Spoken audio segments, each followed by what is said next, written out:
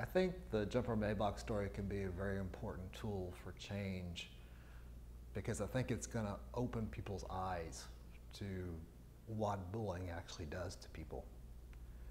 I think everybody kind of knows about bullying, but they really don't understand the damage it does.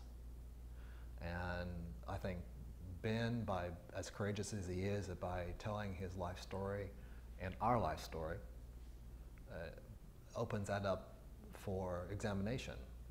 Because when you bully somebody, you're destroying a life, and who knows what that life might have been? It could have that person could have been an artist, a, a painter, a writer, a teacher, a scientist, a, a president. We don't know because once you bully somebody, their life is irrevocably changed.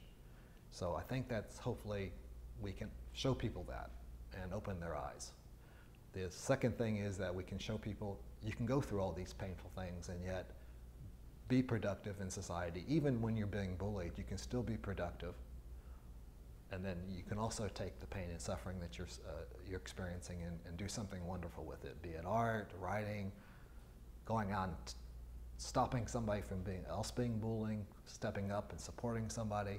So there's a lot of things in there that I think that we can educate people on and tell them just stop the nonsense. Just stop it.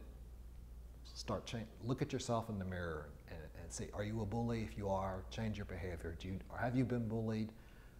Try to get through it and do something productive. Go out and help somebody.